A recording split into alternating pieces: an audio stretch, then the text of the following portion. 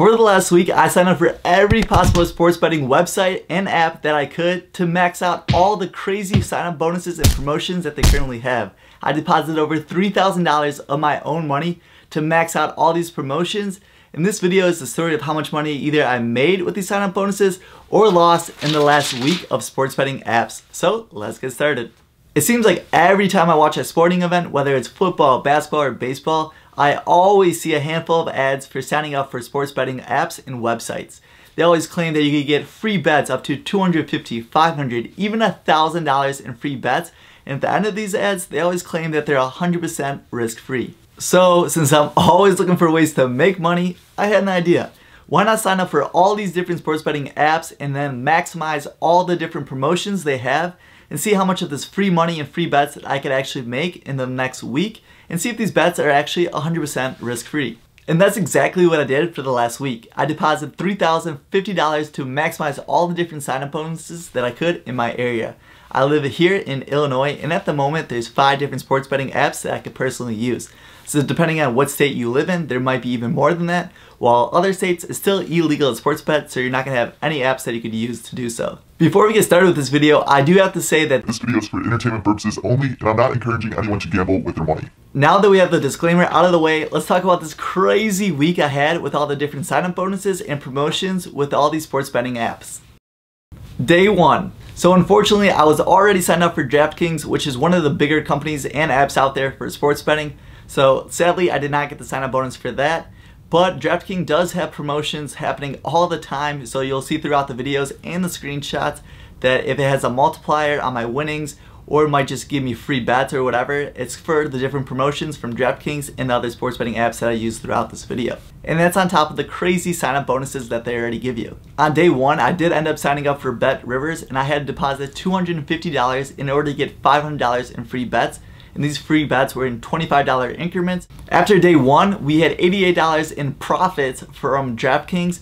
We also had $46.25 in profits that we won from two of the free bets from Bet Rivers, bringing our grand total for day one to a total of $134.25 of profit. And we're also going to keep a running total throughout this video so you can see each day how much I profited or lost and then also the running total. Day two. I signed up for PointsBet and I had to deposit $1,500 in order to get a $500 free moneyline bet and also another free bet of $1,000 on their points betting system, which I'll explain later on. So the total winnings for day two was $52 in profits with $15 in free bets, bringing our running total to $186 in profits with $15 in free bets. Day three. At this point, I figured I just couldn't bet on teams that I liked or that I thought was going to win in my head because this really wasn't a system and I knew in the long term I was leaving money on the table with all these free bets that I was getting. So after doing a little bit of research, I found this website called OddsShark and what they do is they have this predicting software which they predict who's going to win the games and they'll give you the scores that they predict. So what I was doing is I was looking at the different spreads on these betting apps. So for example, the OddsShark website has the spread on the game. So you can tell here the favorite is the Houston Rockets for this example and they have a spread of negative 5.5 points. So even if Sacramento Kings were to lose this game, say by two points, and you took the spread, you would still actually win the bet. So what I was doing is I was looking at the OddsShark website and it was predicting that the Kings would win 119 to 107. So what I was doing was looking at the spread and who was going to win predicted from the OddsShark website and then comparing that into the different spread on the different sports betting apps out there. And if there was a big variance, I would take that bet. And this is the different strategy that I had going forward for the rest of this video. So day three results were $168 of profit on DraftKings, about $46 of profit on Bet Rivers. Then we had our massive bets with PointsBet for a huge sign up bonus. So we did the $500 money line on Michigan and yes, they won. And then also we had the points betting system. So how it works is a little bit tricky. So say the spread, if you think, for example, the Michigan has a spread of minus two, and then the points betting system works is it's a multiplier. So you might have to bet $10, and but if they lose, say by 15 or 20, there's a multiplier how much you're gonna lose or win. So if they have a negative two spread, but say if they win by 20, it's a huge blowout. If you bet 100 bucks, you could possibly win, you know, $2,000, $3,000. But on the flip side, you could easily lose that money if there's a big loss and it's a big difference from the spread. So luckily I did a bet and I won huge and you can see the results right here. So for the day, I won $1,435 with $11 in free bets from PointsBet. That brings our grand total for day three at $1,648 of profits with $11 in free bets. And our running total so far is $1,834 with $11 in free bets. Day four, I signed up for another sports betting app, and this one is called William Hill. I had to deposit $300 in order to get a $300 bet for free. Our totals for day four were $9 in losses for DraftKings. We did win one of our free bets from Bet Rivers, so it was about $19 of profit right there. For PointsBet, I didn't bet any, but I still had that $11 free bet. And then for William Hill, we actually lost our $300 bet so unfortunately, we were out our bonus right there. And that means for day four, we ended up losing $288, but we still had $11 in free bets. And hopefully we still get that $300 credits from William Hill. That brings our running total to a profit of $1,544 with $11 in free bets. And hopefully, fingers crossed, that we still get that William Hill $300 credit. Day 5. I signed up for FanDuel and I had to deposit $1,000 in order to get a $1,000 free bet. And just to note, there's two different apps for FanDuel. There's a sports betting app and there's also a fantasy one. So unfortunately I did sign up for the fantasy one for the first time around and I deposited $1,000 thinking that it was a sports betting app and that they were the same thing. But unfortunately, I was wrong. I did have to reach out to customer support, but luckily they did give me my $1,000 without any hassle, and then I just deposited that into the correct FanDuel sports betting app. Day 5 winning and losses resulted in a $50 loss from DraftKings, and then Bet Rivers, we ended up winning two of the free bets, so we profited $46. From PointsBet and William Hill, we didn't place any new bets. But for FanDuel, we ended up losing our $1,000 sign-up bonus. This looks like a clear winner from OddsShark's website. The odds were clearly in the team's favor, and they also had the point spread. And guys, this was the most frustrating game to watch. Of course, the one game I bet on, this team was down by the most amount of points in decades at halftime, and it was so frustrating. The other team was red hot. They had the most amount of threes that they hit in a single game within decades. And it was so frustrating, especially since I had $1,000 on the line. But anyways, for day five, our total uh, ended up being $104 in losses, but we still had $11 in free bets, bringing in our running total to a profit of $540 with $11 in free bets. So unfortunately, there wasn't any more apps that I could sign up here in Illinois, but there's still a good amount of promotions for all these different apps for different free bets, uh, more winnings, or just better odds in your favor. So for day six, our winnings and losses resulted in $184 of profit from DraftKings. We ended up losing $27 in Bet Rivers.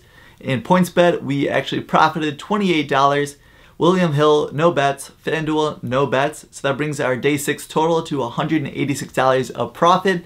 And that means our running total is $726 with $1,000 in credits from FanDuel. And then hopefully we get the $300 credits from William Hill. And I do have to say that the FanDuel did credit my $1,000 right away and it was super easy. But it was kind of odd that William Hill still at this point still didn't give me my $300 credit back. Especially that I placed my bet a day later with FanDuel and I already got the credit back in my account. So hopefully fingers crossed I still get that $300 credit from William Hill. So the last and final day, day seven of opening up all these crazy promo codes for all the sports betting apps out there. And unfortunately, I didn't see any good spreads in my favor for OddsShark.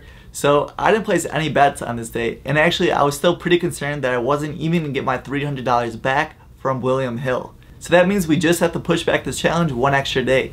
So day 8, this is for sure the last and final day of the challenge. Bet Rivers, we profited $69 and then PointsBet, I didn't place any bets, so zero with that.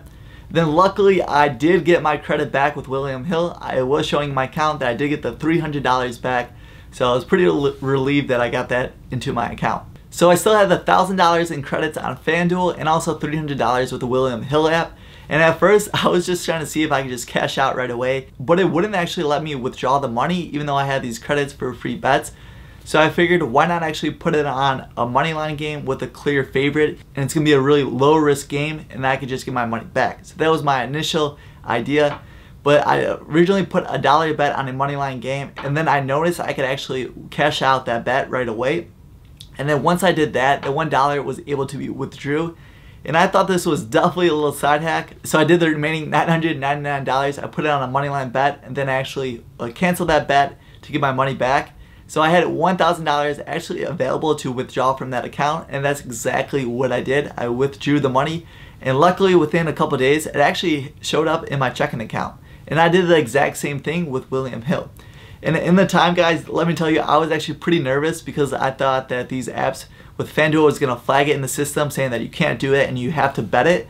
And originally I thought they were gonna make me bet it, but this is definitely a little side step to go around to actually make these 100% risk free. So in total for the last day, we profited $94, but then we also got back $1,300 in credits from FanDuel and also with William Hill. And that brings us to our grand total for the last week of signing up for these insane promotions and sign up bonuses for all these different sports betting apps and websites at a grand total of $2,119 of pure profit.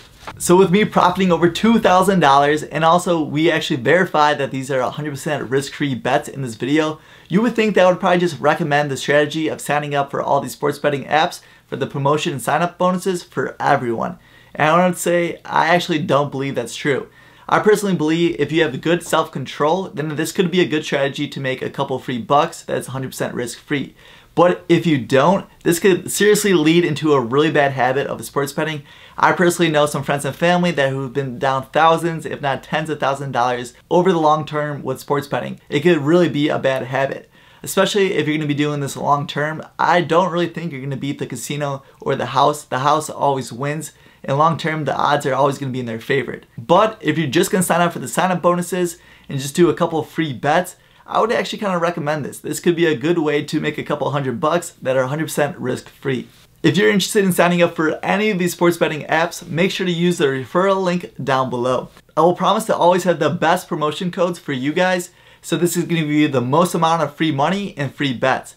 So use the links down below in the description box and also pinned in the comments. And I'll also be updating these continuously throughout to make sure that you guys have the best promo codes. Also with you using my links, it's not going to affect on how much of a sign-up bonus or promotion you're going to get. Like I said, you will always get the best and highest sign-up bonus and free bets with free money.